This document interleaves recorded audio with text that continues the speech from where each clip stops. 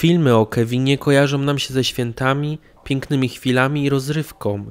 I choć oczywiście jest to prawda, to filmy te mają też swoją ciemniejszą stronę, na podstawie której powstały przerażające i szokujące teorie spiskowe o Kevinie. Co łączy Kevina z piłą? Czy Kevin nie żyje? O tym wszystkim dowiecie się w dzisiejszym filmie. Oczywiście pamiętajcie, to tylko teorie i nie traktujcie ich śmiertelnie poważnie. Wiele osób zastanawia się, jak to właściwie możliwe, że można zostawić własne dziecko przypadkiem w domu.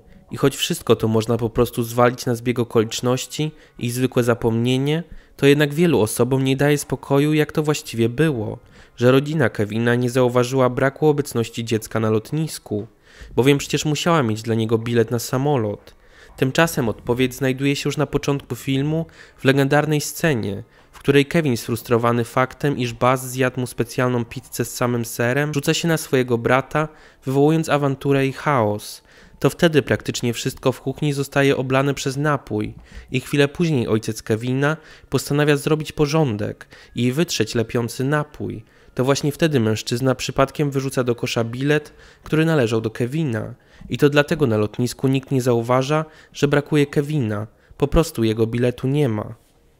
Oczywiście wyrzucenie biletu można zwalić na zwykły przypadek, ale teoria spiskowa, która pojawiła się w sieci, przedstawia już zupełnie inny i wręcz szokujący scenariusz całego zdarzenia. Wiele osób zwracało uwagę, że ojciec Kevina nie wydawał się szczególnie wystraszony faktem, iż jego ukochany syn jest sam w domu i nie wie, co stało się z jego rodziną. Natomiast jego matka była wręcz przerażona. Podobnie jest w sytuacji, w której ojciec bez większych problemów puszcza żonę, żeby jechała bardzo daleko do syna, a on idzie sobie do hotelu z resztą dzieci. Co prawda, później przyjeżdżają do syna, ale nie wiemy, czy była to bardziej jego inicjatywa, czy dzieci, które nie chciały zostawić kobiety samej. Oczywiście może to być kwestia charakteru ojca i tak dalej, ale czy na pewno? Pojawiły się teorie spiskowe, iż ojciec Kevina sam wynajął włamywaczy, by obrabowali dom i również specjalnie doprowadził do tego, by w domu pozostał Kevin, by złodzieje przypadkiem go zabili. Teorię to może uwiarygodniać fakt, iż w mało popularnym filmie o przygodach chłopca Kevin sam w domu 4, ojciec i matka wzięli rozwód i nie mieszkają razem. Być może ojciec chciał po prostu zabrać większość majątku żonie, by ta w sądzie w czasie sprawy rozwodowej nie mogła mu zbyt wiele go zabrać, bo myślała, że został on skradziony, a przy okazji bowiem nie lubił Kevina, szczególnie przez jego ciągłe wpadanie w kłopoty, postanowił się go pozbyć przy pomocy włamywaczy. To jednak tylko jedna z teorii. Inna mówi, iż w rzeczywistości pan McCallister wcale nie jest ojcem Kevina, a jest to dziecko pochodzące ze zdrady matki Kevina z jakimś mężczyzną, co mąż jej ostatecznie wybaczył, jednak na koniec małżeństwa postanowił, że pozbędzie się oczka w głowie pani McCallister. Co więcej, warto zastanowić się, wiemy, iż pan McCallister jest bogaty, ale pytanie skąd, gdzie pracuje, skąd ma tak wiele pieniędzy? Czyżby sam był przestępcą? Kolejna teoria ukazuje niezwykłe podobieństwo Kevina do Jigsawa z serii filmów Piła. Zawsze wiele osób zastanawiało niezwykłe zdolności Kevina do tworzenia wymyślnych pułapek o przerażającym przeznaczeniu. Jest to ciekawe podobieństwo do Jigsawa, który tworzył pułapki i zagadki, których tylko rozwiązanie poprawne mogło pozwolić graczowi przeżyć, a złe dawało mu śmierć. Czyżby Kevin to tak naprawdę młody Jigsaw? Warto wspomnieć, że Jigsaw do swojej gry używał ludzi, którzy byli według niego źli, złodziei, morderców itd. Tak Czy to właśnie przygody z włamywaczami z dzieciństwa mogłyby zaszczepić w Kevinie mrok, który potem zamienił go w psychopatycznego mordercę zabijającego zbrodniarzy? Każdy z nas pamięta sympatycznego fana Polki, który podwiózł mamę Kevina do domu. Czy jednak faktycznie był on tak sympatyczny? Warto zauważyć, że jego postać zaczepia matkę Kevina dosłownie po chwili, gdy ta mówi, że dostanie się do swojego syna, nawet gdyby miała sprzedać duszę diabłu. Co więcej, zwraca się uwagę, że często ci, co sprzedają duszę diabłu, robią to dla bezsensownych rzeczy. I tak właśnie było w tym przypadku, bo matka dotarła do domu dosłownie na kilka minut przed resztą rodziny. Czy śpiewający mężczyzna mógł być diabłem? Skoro już jesteśmy przy Polce, którą wiele osób kojarzy z Polską, Warto wspomnieć, że Kevin tak naprawdę ma dość sporo wspólnego z Polską. co miejscami może szokować. Jeśli chcecie się dowiedzieć więcej na temat tego, co łączy Kevina z Polską, zapraszam na film o Kevinie na kanale Niezwyczajni. Link do filmu w opisie. Kolejna teoria zakłada, iż Kevin nie żyje i łączy się z teorią kolejną. Ta teza przedstawia scenę w filmie, w której Kevin zostaje przechytrzony przez złodziei, a oni go łapią i chcą mu się odpłacić za wszystkie winy. Bardzo możliwe więc, że wtedy by go zabili. Oczywiście z dalszych wydarzeń wiemy, że Kevin został uratowany przez starszego pana. Czy jednak na pewno zawsze tak było? Kolejna teoria, jak wspominaliśmy wcześniej, zakłada, iż Kevin nie żyje.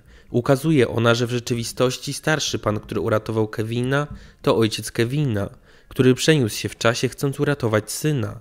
Na temat tego mężczyzny było mnóstwo strasznych historii, iż jest on mordercą i tak dalej, a wzięły się one od tego, iż Bas, który choć udawał, że nienawidzi Kevina, bardzo go kochał i gdy okazało się, że jego brat nie żyje, obwiniło wszystko ojca, który powinien być w końcu głową rodziny i nie dopuścić do takiej sytuacji. To dlatego w przyszłości nie pozwoli mu się widywać ze swoją córką, co wspomniane jest w scenie, gdy Kevin i starszy pan siedzą w kościele. Ojciec Kevina, chcąc naprawić swój błąd, postanowił przenieść się w czasie i w scenie, w której włamywacze prawie zabili Kevina, ratuje go zmieniając ostatecznie przyszłość. Teorię tą może też potwierdzać fakt, iż dziewczyna śpiewająca w kościele również ma rude włosy, podobnie jak Bas, co może sugerować, że to on jest jej ojcem. Pokrótce warto też wspomnieć o innej teorii, która sugeruje, że starszy mężczyzna to wcale nie ojciec Kevina, ale sam Kevin, który przybył z przyszłości chcąc ją naprawić. Teoria ta sugeruje, że doświadczenie z przestępcami wywarło bardzo negatywne odczucia na Kevinie, które ujawniły się w przyszłości. Rodzice Kevina mieli się rozwieść, bowiem nie potrafili poradzić sobie z ciągłymi przygodami swojego dziecka, które odbiły się negatywnie na całej rodzinie, co ukazane jest w filmie Kevin sam w domu 4. A co więcej, nie wiemy, co złodzieje zrobili Kevinowi, gdy udało się im go złapać. Być może go nie zabili, ale torturowali, i to zostawiło piętno na jego psychice, zupełnie go odmieniło. To właśnie przez to Kevin w przyszłości miał problem z założeniem własnej rodziny, a święta kojarzyły mu się właśnie z problemami, jakie sprawiał, przez które rozbił swoją rodzinę i tym, co zrobili mu złodzieje. W końcu udało mu się założyć własną rodzinę i nawet miał syna, jednak dalej każde święta kojarzyły mu się bardzo źle i przez swoje wewnętrzne problemy w końcu rozbił swoje własne małżeństwo, za co jego syn go znienawidził i nie pozwolił widywać mu się ze swoją córką. I dlatego Kevin z przyszłości przybył do przeszłości, by jakoś odmienić swój los. Jak pewnie pamiętamy, wujek Frank nieszczególnie przepadał za Kevinem, a do tego wszystkiego był ogromnym materialistą i nawet w samolocie namawiał swoją żonę, by ta schowała zastawę do torebki. Co więcej, wujek Frank starał się jak tylko może, by nie musieć płacić za pizzę i zwalał koszty na brata. Bardzo możliwe więc, że Frank był bardzo zazdrosny o swojego brata, który dorobił się fortuny i to właśnie on postanowił wynająć złodziei, by ci okradli jego brata. Pytanie tylko, dlaczego nie dopilnował, by na pewno wszyscy domownicy wyszli z domu. Być może tu odpowiedź daje scena, która pojawia się w drugiej części Kevina, w której chłopiec wchodzi do łazienki do wujka. Być może nie był to pierwszy raz, gdy Kevin wszedł tam, gdzie nie trzeba, i być może już kiedyś pojawił się tak, by być w stanie zobaczyć lub usłyszeć coś, czego nie powinien z ust Franka, i ten postanowił się go pozbyć.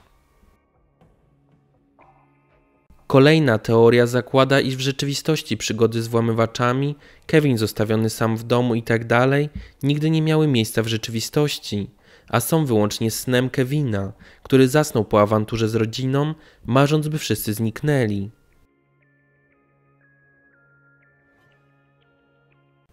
Warto też wspomnieć o chyba najbardziej szokującej teorii spiskowej na temat pierwszej części Kevina – Chodzi tu o wydarzenia, w których matka Kevina próbuje jakoś dostać się do syna. W pewnej chwili za kobietą pojawia się brodaty mężczyzna, który zdaniem wielu internautów za bardzo przypomina Elvisa Presleya. Oczywiście nie jest to możliwe, że byłby to Elvis, bo umarł on w 1977 roku, chyba że jednak Elvis dalej żył. Chyba też, że byłby to po prostu człowiek podobny do Elvisa. Jeśli chcecie się dowiedzieć więcej na temat tego, co łączy Kevina z Polską i poznać jeszcze więcej szokujących ciekawostek na temat Kevina, zapraszam na film o Kevinie na kanale Niezwyczajni. Link do filmu w opisie.